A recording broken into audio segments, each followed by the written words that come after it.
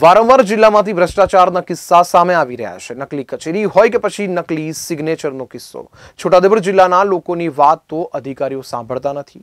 જેને લઈ આવા કિસ્સામાં ના છૂટકે ભ્રષ્ટાચારને ઉજાગર કરતા વીડિયો બનાવીને સોશિયલ મીડિયામાં લોકો વાયરલ કરતા હોય છે. આવો જ વીડિયો છોટાઉદેપુર જિલ્લાના હરપાલપુરા ગામનો સામે આવ્યો છે. હલકી કક્ષાનું મટીરિયલ વાપરવામાં આવી રહ્યું છે. આ વીડિયો જ્યારે વાયરલ થયો ત્યારે આ બાબતની ખરાઈ કરવા અમારી ટીમ ગામમાં પહોંચી, જ્યાં ગામના લોકો પેટા કોન્ટ્રાક્ટર સાથે માથાકૂટ કરી રહ્યા હતા. ગામના લોકોએ આક્ષેપ સાથે જણાવી રહ્યા હતા કે કામ કરવું હોય તો યોગ્ય રીતે કામ કરો. જે મટીરિયલ વાપરવામાં આવે છે તે પૂરતું ન હોય તો પાયા મજબૂત નહીં બને. અને પાયા જ મજબૂત નહીં હોય તો બિલ્ડિંગ પણ કમજોર બનશે. આ વાત જણાવી રહ્યા હતા ગામના લોકો પણ કહેવતો કોન્ટ્રાક્ટર ટસમસ થવા તૈયાર નહોતો બસ એક જ રટણ રટતો હતો કે તમને સમજણ ન પડે, કામ તો યોગ્ય રીતે ચાલી રહ્યું છે. જો તમને અયોગ્ય કામ લાગતું હોય તો ઉપર રજૂઆત કરી શકો છો. કારણ એ શું છે, અમારા બાળકો અને અમારા બાળકી લોકો અહીંયા આ સ્કૂલની અંદર ભણવાના છે. ગમે તારે આવું ગમે તે કામ કરી જાય. ગમે તે છોકરાને અમારા પબ્લિકને અમારા છોકરા પરિવારને નુકસાન થાય ગમે તે ઉપરથી પડી જાય કંઈ બી નુકસાન નુકસાન ના ના પાયાની પાયાની મુદ્દાની વાત છે.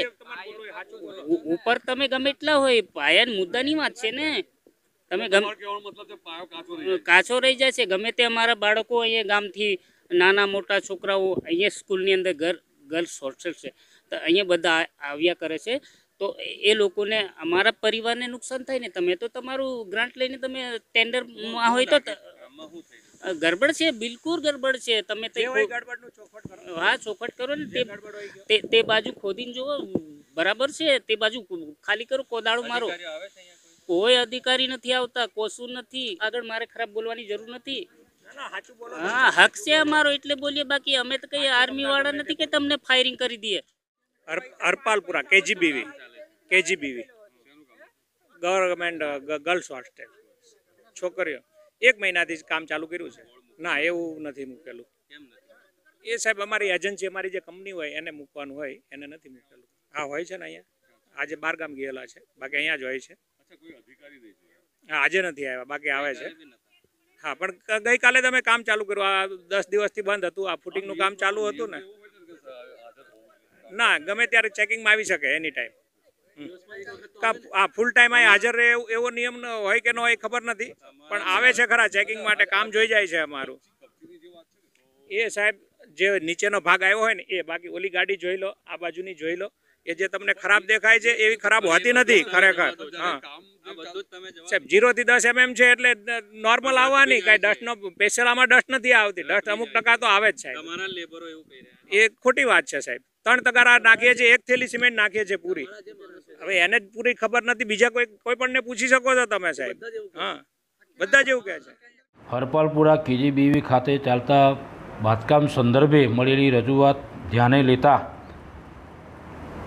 જે તે ડીએસ જસાણી સુરતની જે એજન્સી કામ કરી રહી છે એની સાથે સંપર્ક કરી અને ઉચ્ચ કોટીનું મટીરિયલ અને કામગીરી થાય તેવા માટે અમે ટીઆરપી મારફતે તપાસ કામગીરી સોંપી દીધી છે અને યોગ્ય કાર્યવાહી કરવામાં નહીં આવે તો સ્ટેટ કક્ષાએ ડિસક્વોલિફાઈડ કરવા સુધીની કામગીરી કરવા માટે અમે સ્ટેટ પ્રોજેક્ટ ઇજનેરશ્રીને અમે લેખિત જાણ કરવાના છીએ. અમારા દરેક તાલુકાની અંદર ટીઆરપીની નિમણૂક થઈ ગયેલી છે.